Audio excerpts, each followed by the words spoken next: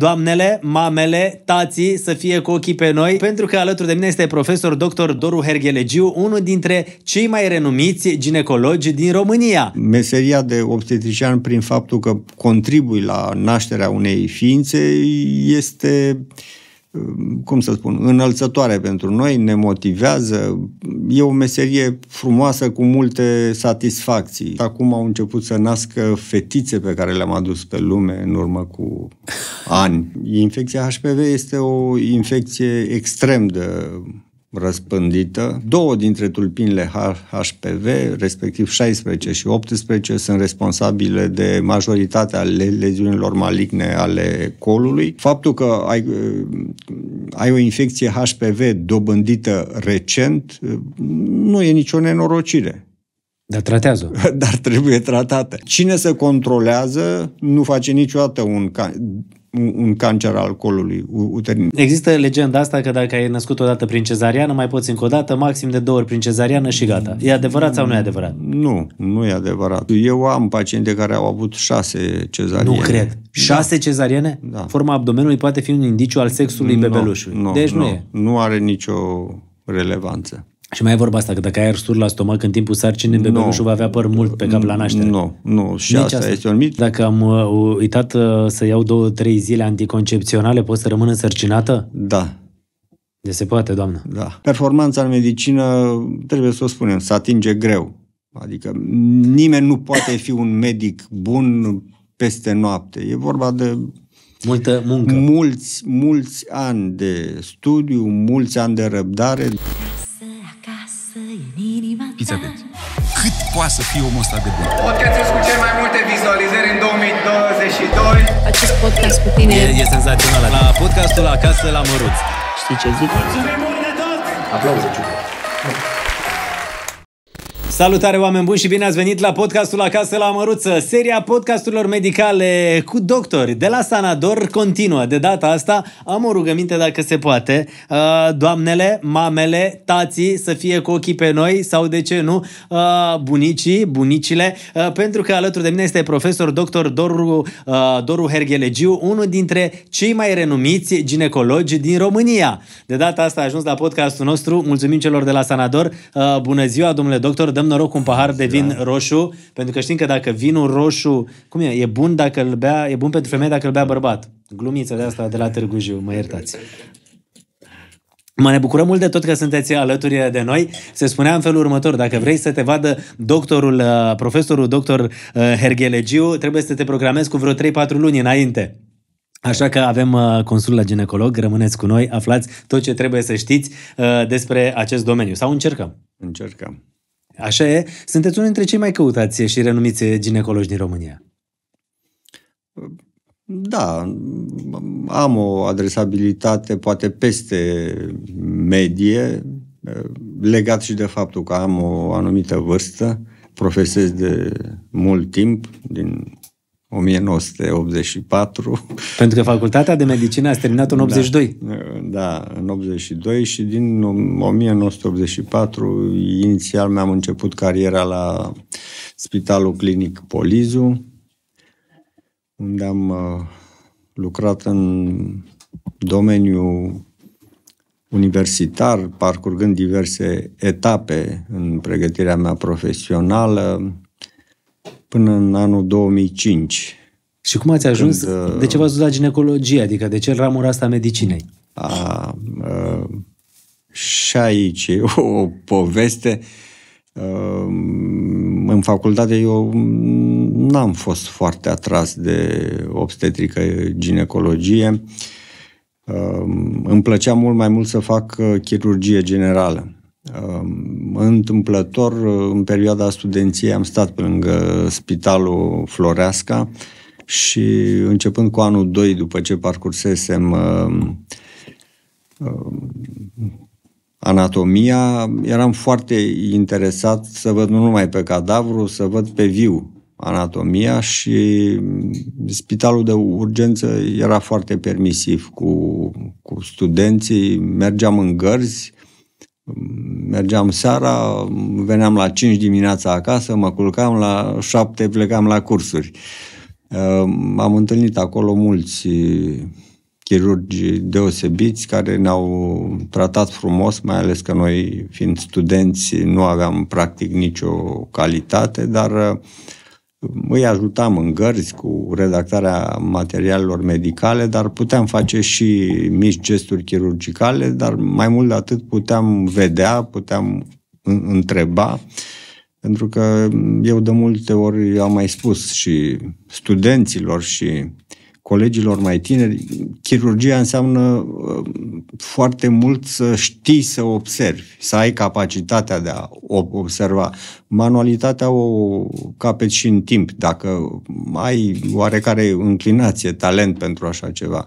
Dar răbdarea, uh, capacitatea de a fi concentrat, de a vedea amploarea unui act chirurgical care se desfășoară pe multe ore, presupune un mare efort pe care mulți nu nu pot să-l susțină. Nu pot susține. Da, adică ca să înveți chirurgie trebuie să stai mult timp, să observi mult, să vezi, mai ales cum eram noi în poziția noastră. De, nu eram rezidenți, eram simpli studenți.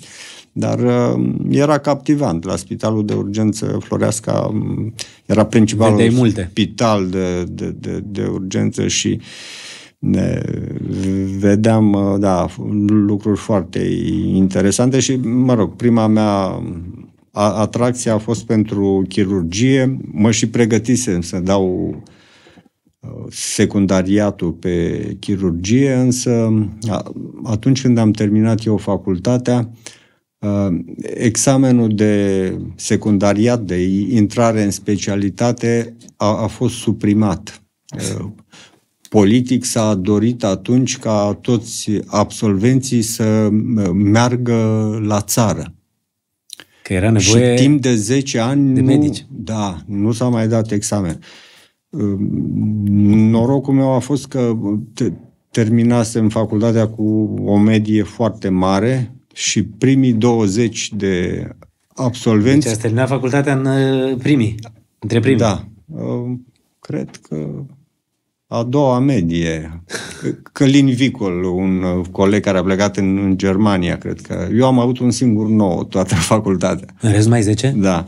Și uh, el, da, el, el, el cred că a avut... L-ați da, auzit, nu? Deci nu un mai... singur nou în toată Da, facultatea? da. Dar ce s-a întâmplat atunci? Păi, uh, profesorul Ranga a spus că doar profesorul merită 10, asistentul universitar merită 9 și cel mai bun student 8. Și cu toate astea mi-a dat 9 atunci. Da, și e singurul 9, deci la primul examen de anatomie. Ca să înțelegeți, E. oameni buni, cu cine stăm de vorbă astăzi la podcast, profesor dr. Doru Herghelegiu, uh, unul dintre cei mai renumiți ginecologi din uh, România și vreau să vă întreb, ați fost barză pentru câți copii? Dacă ar fi să tragem nu, linie. Nu, n-am... N-a- n-am- n-ați- n-aveți o- să- Nu, n-am uh, avut uh, niciodată preocuparea asta. Pur și simplu nu. Dar nici nu cred că niciun ginecolog, niciun obstetrician nu știe câți copii a născut. Adică e imposibil să stai să contorizezi așa ceva, decât dacă ai poate vreo problemă. Nu. Adică Dar asta aveți e- momente când mergeți pe asta e stradă sau vă meseria întâlniți cu pe cineva care și o faci. zice, domn doctor, eu am venit pe lume datorită dumneavoastră. Da, da. Da, și mai mult decât atât, acum au început să nască fetițe pe care le-am adus pe lume în urmă cu ani. Și, Și să nu spuneți că vin tot la ba dumneavoastră. da, da, mamele lor le-au adus la mine și chiar mâine operez o fetiță, a, e a doua cezariană care eu fac și care s-a născut cu mine și are al doilea copil acum. Deci, practic, dumneavoastră, mâine Da. operați uh, mămica pe care dumneavoastră ați adus-o pe lume. Da. E Da, senzațional. da, e... Da, e emoționant și pentru mine, dar, mă rog, asta, Asta asta spun- e meseria. Da, e o meserie uh, tare, tare interesantă. Uh, știți ce vreau uh, astăzi uh, la ora noastră de medicină pe uh, probleme de ginecologie? O să vă rog să trageți doar puțin microfonul mai aproape. O să vorbim și despre tot felul de afecțiuni care apar și în funcție de vârstă și uh, vrem să vedem uh, cum Da, putem să-i ajutăm și pe cei cunoștințe- cu HPV-ul ăsta. Am au citit foarte multe lucruri și am făcut niște podcasturi de educație sexuală aici și am aflat enorm de multe multe lucruri despre un lucru pe care habar nu-l aveam. Și cred că poate fi, să fie un semnal de alarmă foarte bine de tras pentru toate uh, persoanele da. care se uită la noi. Infecția HPV este o infecție extrem de răspândită. Da, aș face o comparație așa cum uh, sunt virusurile gripale care circulă și ne îmbolnăvesc și facem gripe sezoniere și uh, aceste papilomavirusuri au căpătat o amploare extraordinară. E de departe cea mai frecventă patologie infecțioasă în uh, ginecologie. Uh, sunt extrem de multe tulpini HPV, uh, unele sunt foarte grave, sunt bine cunoscute, pentru ele s-au făcut și vaccinuri care permit imunizarea. Aceste campanii de imunizare au început în urmă cu mulți ani și în România, nu au fost foarte bine primite de părinții fetițelor, pentru că vaccinarea începe precoce, la 11-12 ani poate fi făcută. Vaccinul este activ și îți produce un răspuns imun și te protejează la orice vârstă l-ai face, dar răspunsul este mai bun la fetițe, la adolescente și plus îți conferă uh, siguranța protecției la o vârstă la care riscul de a căpăta o infecție HPV este mai mare. Până își găsește un soț, de regulă fiecare tânără poate avea contacte se- sexuale cu partenerii multipli și transmisia acestei infecții virale se face dominant pe cale sexuală, mult mai puțin din piscine care sunt prost igienizate sau alte căi de Pentru cei care se uită la noi, vreau să le spunem că HPV-ul este uh, principala uh, cauză a cancerului de corn uterin. Da. Principala uh, cauză de da, deces, da, în da, principal în România. Da. Prin, două dintre tulpinile HPV, respectiv 16 și 18, sunt responsabile de majoritatea leziunilor maligne ale colului Ehm, lucrul acesta este bine cunoscut, toate femeile își fac însă, au înțeles necesitatea screeningului și printr-un examen simplu, Papa Nicolau, nu? citologic Babeș Papa Nicolau, își pot controla anual uh, starea de sănătate. Colposcopia este iarăși un examen, un examen care vine să dubleze examenul citologic Babeș-Papa Nicolau și depistează leziuni minore incipiente ale epiteliului cervical, care dacă nu sunt sancționate terapeutic, pot conduce, de regulă într-un interval de timp îndelungat, Uh, la uh, cancer al colului uterin. Uh, da, oamenii... Ce, ce, ce da. trebuie să înțeleagă, poate, pacientele? Faptul că ai, ai o infecție HPV dobândită recent nu e nicio nenorocire. Dar tratează Dar trebuie tratată. Iar uh, efectuarea periodică a citologiei și a colposcopiei permite depistarea tempestivă în timp util a acestor infecții HPV care pot fi tratate, eradicate. Adică cine se controlează nu face niciodată un un cancer al colului uterin. De asta sunt țări în care aproape cancerul colului uterin a dispărut, pentru că este obligatorie vaccinarea HPV fe- fetițelor. Da, este. Și a băieților, am văzut în uh, țări ca Noua da, Zeelandă. Uh, asta e un uh, pas uh, să zicem, nu atât de important la început, dar bineînțeles, dacă vrem să eradicăm complet, și populația masculină trebuie vaccinată, pentru că bărbații sunt vectori. Nu există cancer penian produs de HPV, dar... Dar îl transmite... Exact. Bă, bărbatul cel mai adesea nu știe că este purtător al unei infecții HPV, dar este vector, transmite infecția. Deci dacă epidemiologic ar fi acest cel de a suprima complet uh, circulația virusurilor HPV, normal ar trebui vaccinată uh, alături de populația feminină și cea masculină. Dar, Dar poți să-ți faci vaccinul ăsta indiferent de vârstă? Da, adică indiferent zis, de vârstă. E clar, ajută deci, mai bine la 12-14 ani? imun îl capeți, pentru că toți avem imunitate. Gândiți-vă că toți ne îmbolnăvim, facem gripă an de an, facem diverse boli. Toți avem un răspuns imun și la vârste mai avansate.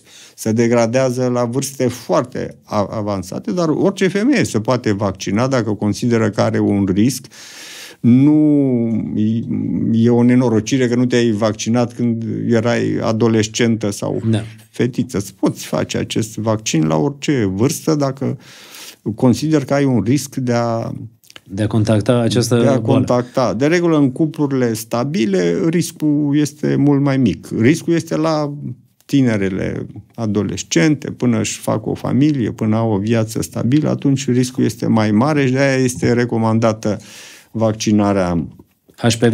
Mi-ar HPV. plăcea ca oamenii care urmăresc podcastul nostru să caute multe informații despre HPV, să înțeleagă cât de periculos este acest virus și uh, cât de ușor, de fapt, poți să-l oprești. Da, Asta da, e. Da, da, da. Contează mult. Pentru Ce alte afecțiuni, uh, la ce alte afecțiuni trebuie să mai fie atenți uh, cei care ne urmăresc?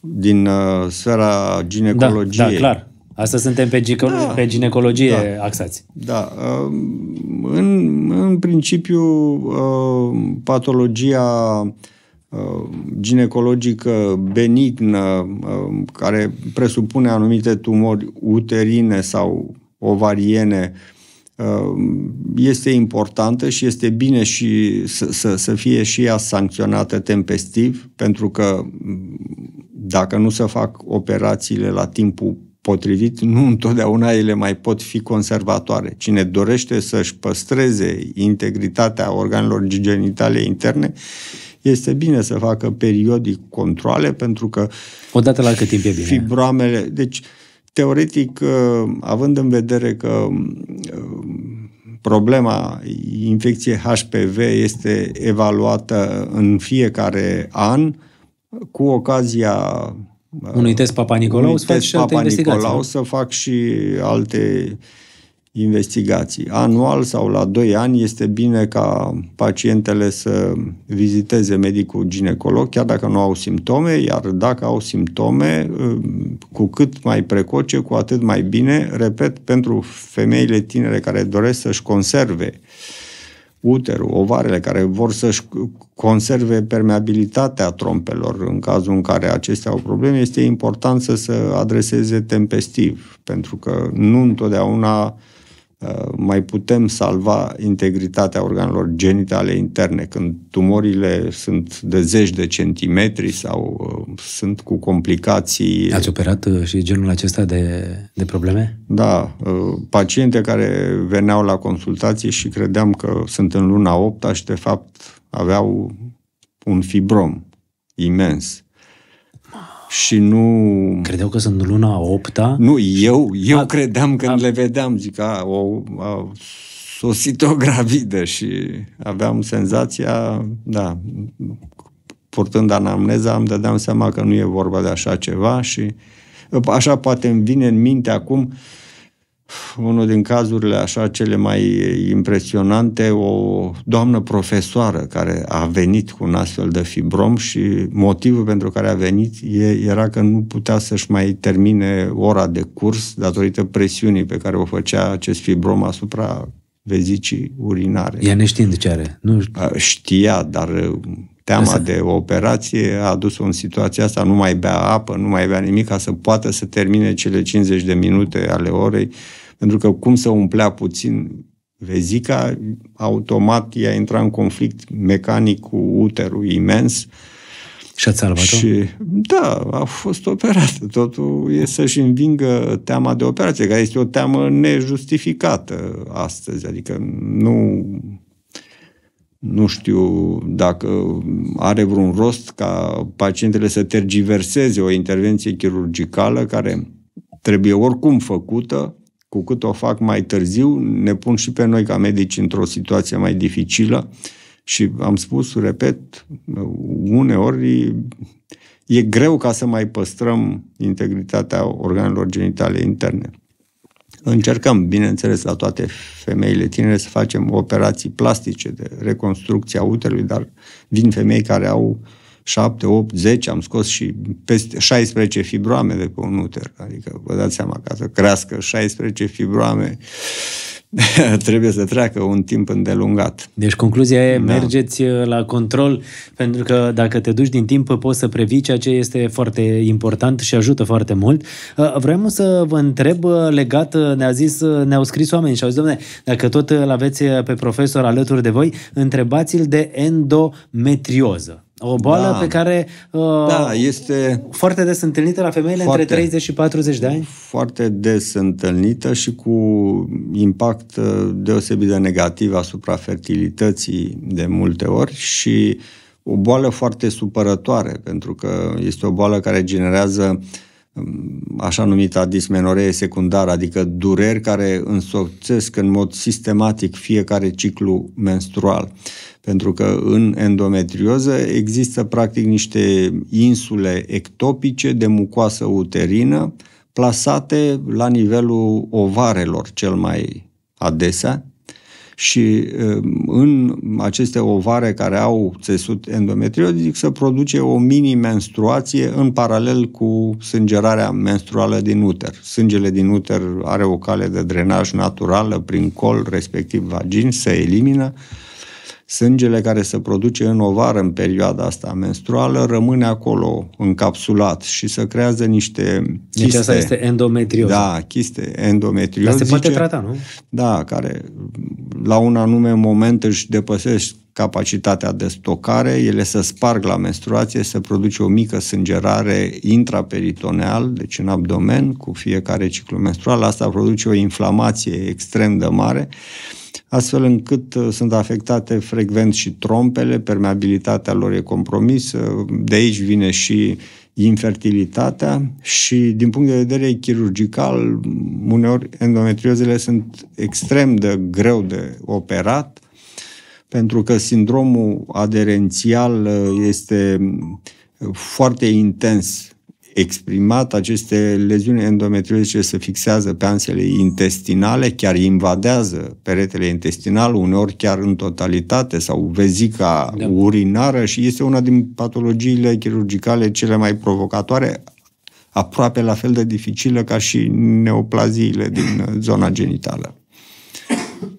Da, la fel și endometrioza este bine să fie tratată cât mai precoce, mai ales la femeile Și asta o descoperi doar tot așa, prin control. Prin ecografie. De regulă, aceste paciente vin pentru că durerile sunt atât de supărătoare încât uh, sunt invalidante. În zilele cu menstruație iau analgetice, antiinflamatorii și sunt și unele paciente care au pragul durerii mai ridicat și suportă și vin cu leziuni mari de ordinul 8-10 cm, chiste endometriozice, da. Sunt uh, multe întrebări legate și despre persoanele care, despre femeile care vor să devină mame și sunt multe persoane care zic, domnule, care e cea mai pe feri, perioada cea mai fertilă? Păi, perioada Noi întrebăm, știți fertilă, cum e, ca aici pe da, YouTube, da, adică... Da, da, da, perioada fertilă de la care este recomandată o sarcină începe cu maturitatea, bineînțeles, cu 18 ani, și uh, are un apogeu între 18 și 35 de ani. Dar, uh, după 35 de ani e mai riscant? Nu, după 35 de ani fertilitatea se mai reduce. Uh, însă asta nu, nu este o regulă. Sunt femei care pot intra la menopauză și la 30 de ani. Depinde foarte mult de rezerva de foliculi prezentă la nivelul ovarelor. Fiecare fetiță să naște cu uh, un număr uh, determinat de foliculi primordiali. În fiecare lună, o parte din acești foliculi intră în puseu evolutiv și unul singur dintre cei 10-15 care intră în evoluție produce celula sexuală. Când s-a terminat stocul de foliculi, femeia intră în menopauză. Nu se regenerează alți foliculi. La bărbat nu e așa. Spermatozoizii sunt celule tinere, se formează tot timpul. Deci suntem tineri până... toată viața, Da, da. Uh, bărbații pot procrea și la vârste avansate și peste 70 de ani. Însă femeile sunt limitate de existența acestei, a, Acestor a, foliculi. a, acestei populații de foliculi prezente la momentul nașterii. Fiecare are un număr de foliculi. Când s-a terminat stocul, femeia intră în uh, menopauză. Și pe de altă parte, există, de ce este recomandat ca femeile să procreeze într-un interval de vârstă cuprins între 18 și 35? Tocmai datorită faptului că uh, acești foliculi conțin celule care stau într-o stare dormantă și intră în puseu de multiplicare, de evoluție, doar când le-a venit sorocul. Sunt celule foarte bătrâne. Deci o, o femeie care ovulează la 35 de ani, să zicem, și rămâne gravidă, jumătate din setul genetic care va genera embrionul provine din ovocitul de la mamă. E, acea celulă a stat încremenită 35 de ani, într-o formă, într-o fază de diviziune, ca să Da, să mă simplificăm un exprim. pic. Da. E, în acea fază, ADN-ul din uh, ovocit este foarte sensibil.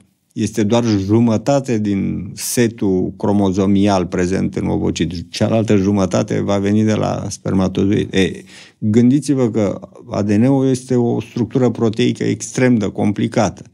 Ca să uh, își mențină această structură zeci de ani este foarte greu. Sub influența factorilor chimici, radiații, etc.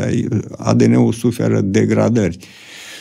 Din recombinarea materialului genetic există șansa ca modelul de genotip care s-a creat prin fecundație, deci prin mixarea materialului genetic din spermatozoid cu cel din ovocit, să nu fie unul fericit. De asta incidența malformațiilor genetice, anomaliilor embrionare este mai mare după 35 de ani. Atât uh, s-a constatat statistică, lanțurile de ADN pot rezista cât de cât într-o condiție bună cam 35 de ani.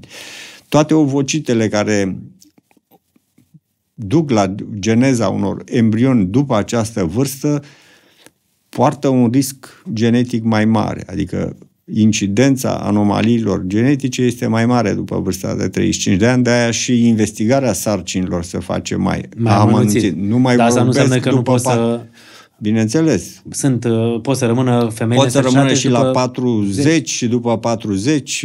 Am văzut uh, sarcini naturale și la 50, care surprinzător au fost bune, dar uh, vedem, bineînțeles, uh, și multe probleme. sarcini cu anomalii genetice care se opresc din ev- evoluție. Astăzi ne e mult mai ușor să le diagnosticăm față de... Pentru că pe vremuri, povesteam înainte de podcast, da. cum era ecograful, domn doctor, când ați început dumneavoastră? Da. uh, Te duceai, de exemplu, cu soția însărcinată la domnul profesor, uh, uh, doctor uh, Doru Herghelegiu și spuneați, haideți să facem la ecograf. Eu Vorbesc de cu 30 de ani. Cum era? Da, nu, păi acum exista. 30 de ani nu asta exista. Primul ecograf uh, cât de cât bun pe care am putut lucra um, l-am avut în 1994. Primele e- ecografe care au fost uh, primite de către spital, așa zise, donații după Revoluție din simpatie pentru Revoluția din România și așa, erau niște aparate prin care nu puteai să faci o evaluare morfologică a embrionului sau a fătului, doar așa puteai să vezi că există ceva în uter care are activitate cardiacă. Deci erau niște aparate Cât de mult a evoluat total medicina și cât de mult s-a schimbat neperformante. totul. Iar pentru noi, într-adevăr, descoperirea ecografiei în specialitatea noastră a fost un eveniment remarcabil. Adică mie mi-a schimbat într-un fel destinul, pentru că mie îmi plăcea foarte mult partea chirurgicală din ginecologie, dar după ce am descoperit ecografia, Imagistic, adică. Imagistica, da. Uh, am devenit un adept uh, convins uh, al uh, ecografiei pe care am aplicat-o atât în obstetrică cât și în, uh, gi- în ginecologie.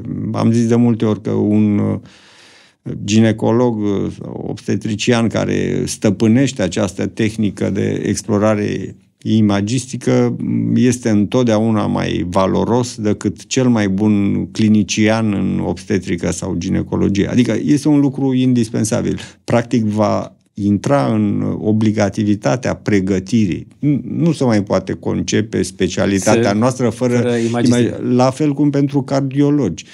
Cardiologii, practic, nu mai pot profesa doar pe baza cunoștințelor clinice. Ecocardiografia, evaluarea ecografică, acordul este absolut necesară, pentru că sunt investigații care se pot desfășura extrem de rapid, sunt la îndemâna oricui, îți dau Și sunt niște răspunsuri clare, multe- mai multă precise, uh, ești la puterea a zecea.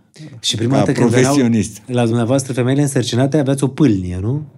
Și ascultați acolo să vedeți Da, nu dacă... aveam. Păi, da, în primii ani nu aveam altă posibilitate de a ști ceva despre făt decât dacă e viu sau nu și există un stetoscop obstetrical care seamănă cu o pâlnie pe care îl aplicam pe Burta... abdomenul gravidei și puteam ausculta cordul fetal, puteam număra frecvența cardiacă, o frecvență coborâtă nu era de bun augur, dar altceva nu știam despre cum arată, despre cât de mare este, despre ce probleme vor fi la naștere, dacă e normal sau nu. Pur și simplu, obstetrica era o chestie plină de surprize. Când vă uitați acum Da. în trecut, cum vi se pare? Că era altă lume. Păi era altă lume și uh, asta v-am spus, că uh, cei care ne-au vizitat spitalul și au văzut uh, activitatea extrem de bogată care se desfășura atunci în spitalul nostru și... La Polizu. Da, și uh, cazuistica pe care o rezolvam, uh, rezultatele pe care le aveam acolo au fost pur și simplu impresionați de faptul că noi reușeam, fără nicio uh, dotare paraclinică, să stăpânim aceste specialități destul de dificile și să avem niște rezultate comparabile cu Și asta de unde venea? Din har, din... Uh, Da, cum să spun... Cum avem rezultate și la gimnastică și la e, fotbal. E, da, m- vechii obstetricieni și vechii gi- ginecologi aveau calități clinice mult mai bune, uh, comunicarea între medici și sprijinul, ajutorul. Astăzi medicii sunt mult mai individualiști. Atunci cei cu experiență stăteau mult mai aproape de către cei tineri. Erau oameni care aveau zeci de ani de meserie în spate, care aveau flair, care aveau uh, uh, capacitatea de a intui pericolul, de a te anunța. Uh, un, un tânăr nu, nu, nu putea să facă lucrul ăsta. Adică, Dacă nu era susținut. Da, asta spun. Uh, echipele medicale și colaborarea era mult mai strânsă. Astfel, astăzi fiecare e cam pe cont propriu, așa. Mă rog, colaborăm, ne ajutăm, dar um, era și altă ordine, altă ierarhie în medicină atunci, pentru că uh, a fost necesară în felul ăsta.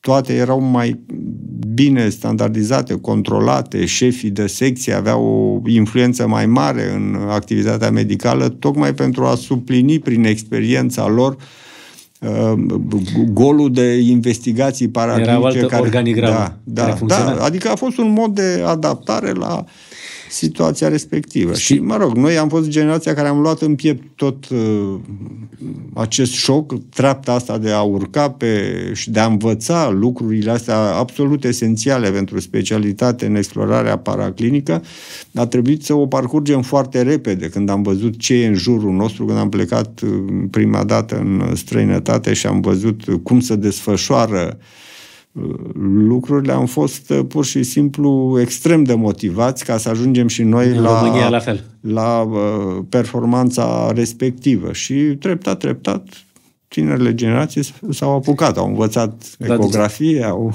Vă aduceți aminte? Da. Eu v-am spus, uh, v-am dat un exemplu mai devreme. Întotdeauna am doi copii uh, și mă treceau apele de fiecare dată. Barza copiilor mei, uh, doctorul uh, Poiană, Nicolae Poiană, Da. cel care a fost Coleg cu mine, da. colegul Da. dumneavoastră și la Polizu și la Sanador. Și la Sanador. Da? acum, da. Și întotdeauna când, și poate mai sunt, uh, te duceai la ecograf și atunci medicul ecograf îți măsoară fătul. Da, să fac elemente Se- de biometrie, dar Da, și se face de câte o morfologie. pauză.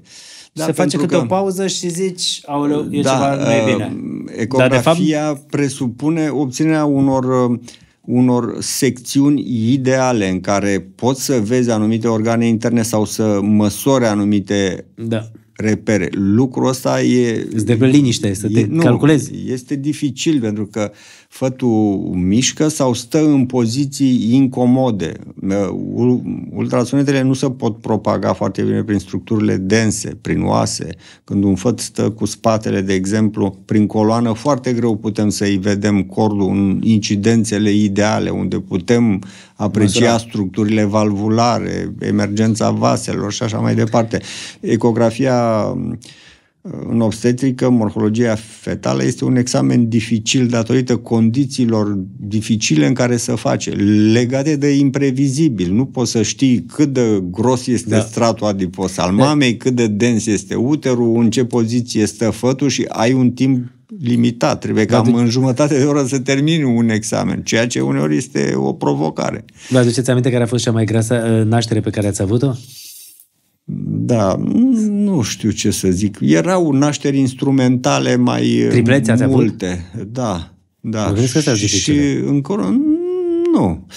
Poate cea mai spectaculoasă a fost o sarcină gemelară în care ambii feți au fost extrem de mari. Cred că m-aș putea înscrie la Cartea Recordurilor cu cazul ăla. Nu știu, un, unul dintre feți a avut vreo 4 kg și ceva și al doilea tot așa pe aproape. Deci ce, ceva uh, impresionant, da. Uh, a fost o naștere grea pentru că în uh, un uter foarte destins, de un volum atât de mare, se comportă greu un uh, travaliu și la fel uh, parcursul feților prin uh, filiera de naștere este mult mai dificil.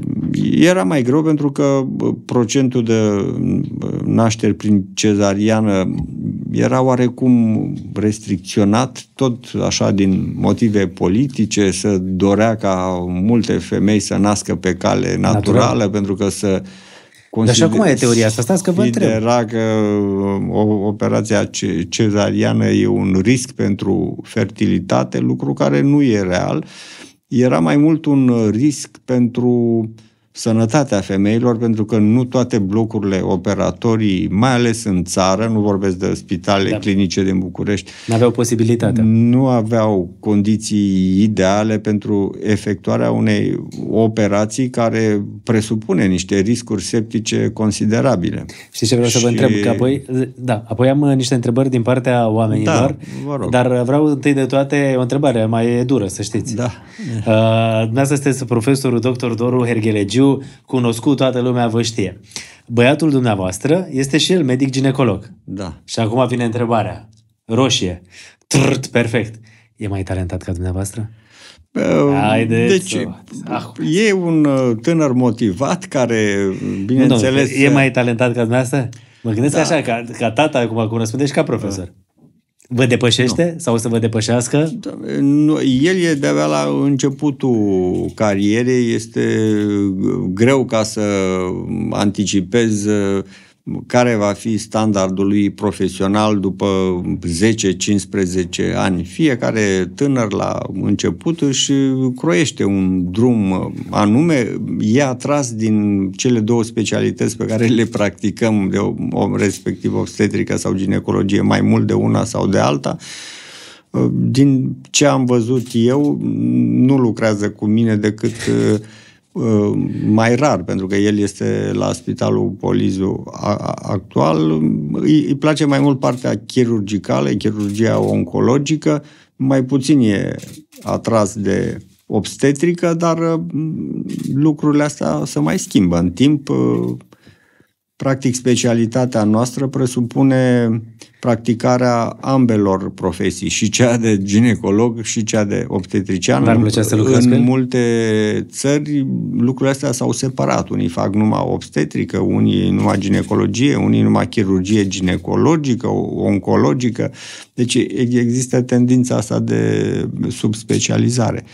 Da, am lucrat cu el uh, ocazional, uh, când uh, Uh, am avut uh, anumite cazuri mai interesante sau când a fost ne- nevoie să-l ajut. uh, E căsătorit?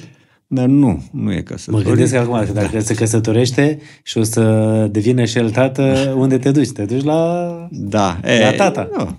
Da, ei au, în general, uh, să știți că uh, gravidele uh, au oarecare afinitate față de obstetricienii tineri, pentru că sunt mai apropiate ca, ca vârstă. Eu am observat și la nu mine. cred că pot Ba să da. vorbească mai... e, Da, adică bă, să simt mai aproape. Uh, Între obstetrician și femeia gravidă să creează poate o relație mai, mai strânsă decât între un uh, medic și un pacient uh, obișnuit, în sensul că să vede cu medicul pe parcursul celor 9 luni de sarcină. E o perioadă specială pentru femeia gravidă în care trăiește niște emoții legate de fătul pe care îl vede, îl simte, nu știu, e, e, să creează o relație specială între medicul obstetrician și femeia gravidă și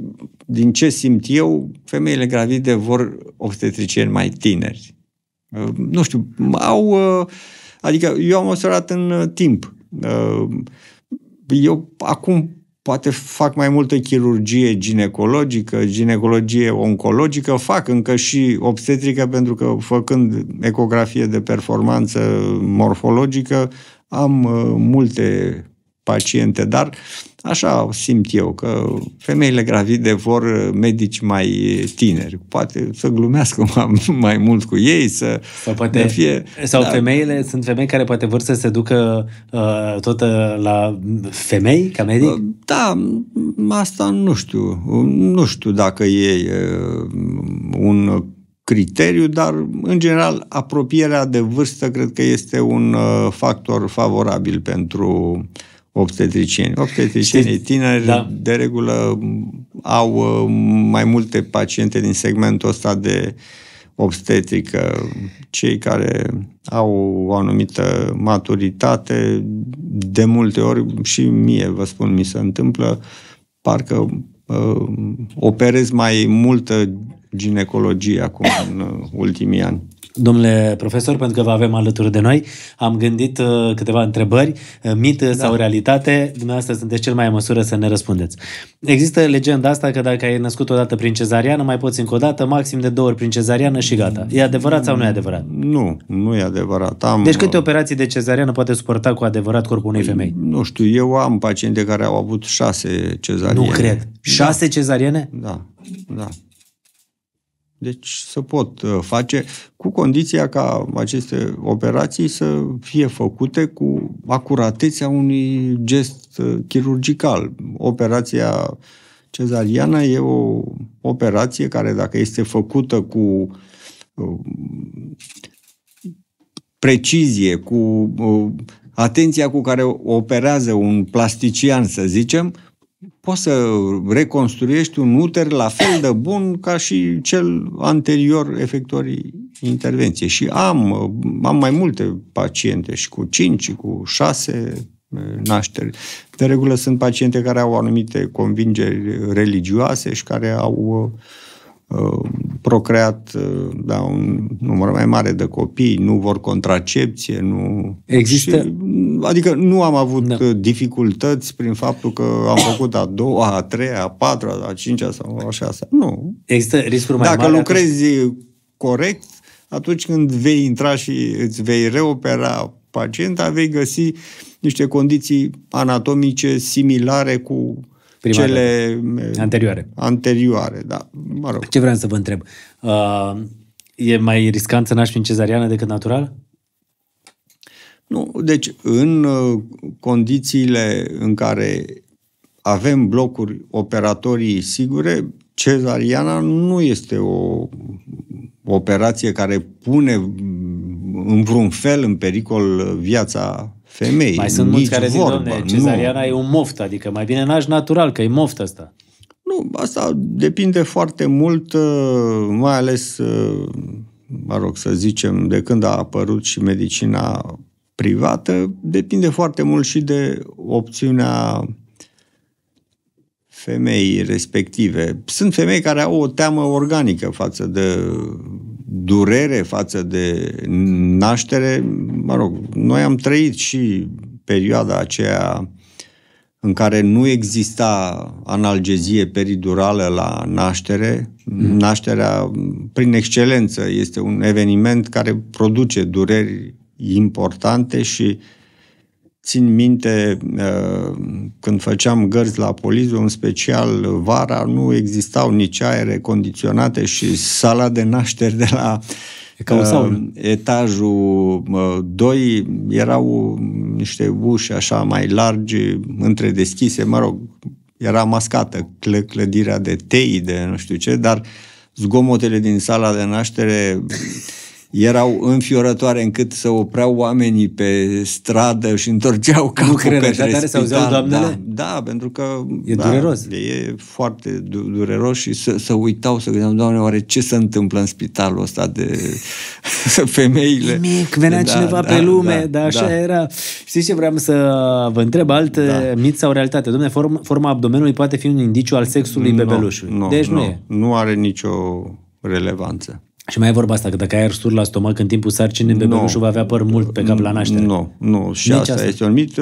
Ar, arsurile sunt produse de faptul că or, cardia, orificiul dintre stomac și esofag, se relaxează datorită imbibiției progesteronice de sarcină și refluxul gastroesofagian, deci trecerea conținutului gastric care e acid către esofagul distal, este un eveniment fre- frecvent, mai ales că și presiunea intraabdominală crește pe măsură ce uterul se dezvoltă și acel reflux de conținut acid produce arsurile. Nu. Sunt frecvente, dar se pot ușor combate prin medicație antiacid, antisecretorie. Nu? Zice cineva, doamne, dacă am uh, uitat uh, să iau două, trei zile anticoncepționale, pot să rămân însărcinată? Da, De se poate, doamnă. da. Se poate și, și uh, ciclul menstrual uh, se va deregla, adică nu va mai veni la timp, așa când iei contraceptive, știi, ai terminat pastilele, în două, trei zile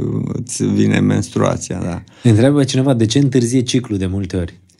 Pentru că, uh, de regulă, menstruația sau ciclul menstrual, uh, de fapt, menstruația, evenimentul, menstruația este o etapă a ciclului menstrual. Deci, sângerarea aia menstruală survine de regulă la uh, 14 zile după momentul ovulației. Vă spuneam mai devreme, foliculii aceia care cresc în fiecare lună pe ovar, unul singur devine folicul matur, se sparge, expulzează celula sexuală și după acest moment, da, cam la 14 zile după acest eveniment, dacă nu s-a produs fecundația, vine perioada menstruală.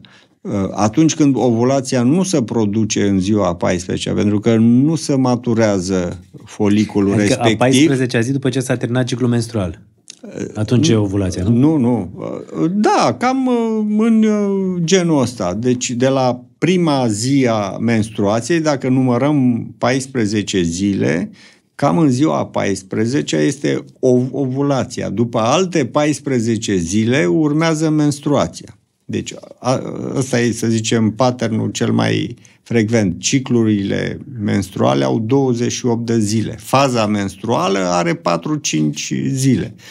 Dar de la începutul unei menstruații până la debutul următoarei menstruații trec cam 28 de zile și în faza de mijloc, cam în ziua Deci 14... se întârzie ciclul câteodată pentru că atunci foliculul Pentru nu s-a explodat. Exact. Vă dau la Foliculul medicină. nu s-a maturat. Deci foliculul nu s-a maturat, nu s-a produs ovulația. Uneori nu se produc ovulații luni de zile și femeia nu are menstruații luni de zile. Sunt uh, Și patologii. atunci sunt foarte multe femei care sunt speriate O- că au rămas însărcinate. Da, ovarele micropolichistice sunt o patologie ginecologică în care maturarea foliculilor nu se produce decât rar, uneori poate de două ori pe an. Femeia are două cicluri menstruale doar. Deci, venirea menstruației este dependentă de normalitatea ciclului ăsta ovarian folicular. La ce vârstă încep uh, adolescentele să aibă primul uh, ciclu menstrual? Da, uh, destul de... În, în medie, acum am văzut că vârsta a cam scăzut. 11-12 ani. Deci e normal pentru da, da, părinții sunt, care poate se uită la podcast să sunt înțeleagă că e normal. fetițe care au și la 10 ani, chiar la 9 ani. Ciclu menstrual? Da, da care, dar sunt excepțiile. Dar în regulă pe la, de regulă pe la 12-13 ani da. Se întâmplă ciclul da, menstrual. a- a- apar primele... Și atunci cel mai important e să vorbească mama cu fica și să explice exact Da, cum stau multe lucrurile. fetițe se sperie când văd acea sângerare, mai ales dacă, să zicem, mama nu s-a gândit că o să-i vină um, menstruațiile precoce la 11-12 ani și amână o discuție pe tema asta. Nici la școală nu să fac ore de educație sexuală care să lămurească fetițele despre acest aspect și cel mai adesea așa se întâmplă. Prima menstruație este cu o sperietură în familie, fetița vine plângând că îi se întâmplă ceva rău, că are o sângerare. Da. Cele care... Tocmai asta trebuie vorbit Da, și explicat. da, da, da, da, că e un eveniment uh, fiziologic, că la o anumită vârstă va apărea și că nu înseamnă că e, e bolnavă. Da. Dar probabil lucrurile astea se vor corecta încet, încet astăzi cu... De multe ori se întâmplă să auzi că sunt cupluri care din ce în ce mai greu reușesc uh, să, să devină părinți. Da, Care ar fi principalele cauze? De multe ori spune, domne, stresul, nu le stă, nu sunt, uh, cum să zic, relaxație, nu sunt... uh, Da, mă rog, po- are, are oarecare noimă o activitate stresantă, de regulă poate aduce prejudicii atât asupra spermatogenezei, cât și asupra ovulației, cum spuneam. De exemplu, așa cel mai elocvent și pe în, înțeles gimnastele de performanță, canotoarele, cel mai adesea ele nu au menstruație, datorită efortului și stresului imens la care sunt supuse, cel mai adesea le dispare menstruația. La Survivor, Pentru că, știți, show-ul de la ProTV, Da. unde sunt uh, trimiși uh, uh, concurenți, uh, o parte șase fete, nu? Cam așa, șase băieți sau ceva de genul acesta, la Da. fiecare echipă de războinici de... Nu? Cam așa sunt. Cam așa. Sunt două echipe, războinici și confruntare faimoși între- și sunt trimiși în Republica Dominicană și stau acolo câte șase luni de zile și veneau concurentele de la Survivor și ne povesteau că le dispare efectiv acest... uh, Da, Ciclu uh, menstrual. un- uneori și schimbările de fus orar pot uh, Schimba. deregla uh, ciclul menstrual, dar în general orice activitate stresantă uh, poate deregla mecanismul ovulației. Ovulația este un act complex care este guvernat de gonadostat, intră inclusiv hipotalamusul, hipofiza ca relee centrale din cap, da? din creier, care coordonează o, o, uh, mecanismul ovulației. Uh, Și lucrul ăsta are o noimă biologică în sensul că dacă uh, femeia este supusă unui stres imens, nu e bine să procreeze. Deci este un feedback de control al ovulației care blochează ovulația pentru că ea dacă va avea un pui nu îl va putea crește. Deci astea sunt mecanisme ancestrale care s-au uh, produs prin selecție biologică. O femeie stresată animalele de la grădinile zoologice sunt supărați toți că nu, nu se reproduc. Păi Ei n-au nu, cum. datorită stresului. Deci și la om e valabilă chestia asta. Și la om, deci e o chestie ancestrală. Face parte Dar stresul din, doar la ea sau și la din, el? La ambii. Și spermatogeneza este influențată, calitatea spermatozoizilor. Spermatozoizii au o sarcină foarte grea ca să pătrundă în ovocit și asta. Deci adică nu nu, e este ușor nici la simplu. noi, totuși. Nu e simplu. Nu e Mecanismul ușor nici la noi. fecundației este ceva foarte complex. E, se produce în trompă în anumite condiții și e un mic laborator acolo care trebuie să funcționeze perfect, astfel încât spermatozoidul să poată pătrunde în citoplasma ovocitului și să se producă recombinarea materialului genetic. E, e un procedeu complicat și atât la uh, femeie cât și la bărbat stresul este un factor um, nefavorabil. Uh, mă rog, și vârsta e un uh, factor uh, de risc, în special pentru femei. Spuneam că la vârste mai tinere ovocidele sunt de calitate mai bună, sarcinile survin mai ușor. Cu cât femeia trece de limita, să zicem, care și asta e relativă, um, limita celor 35 de ani, fertilitatea începe să scade. Asta nu înseamnă că nu mai poate avea copii. Dar că, Dar că uneori, unele paciente să chinuie mai mult până obțin o sarcină. Nu înseamnă că nu sunt și paciente care și la 40 de ani, dacă își doresc, pot să rămână foarte repede gravide în decurs de 2-3 luni. Simțiți prezența lui Dumnezeu atunci când sunteți în sala de operație și aduceți pe lume așa un nou născut? Da, bă, nu știu, eu nu am așa o relație specială cu divinitatea, însă meseria de obstetrician, prin faptul că contribui la nașterea unei ființe, este uh, cum să spun, înălțătoare pentru noi, ne motivează. E o meserie frumoasă cu multe satisfacții.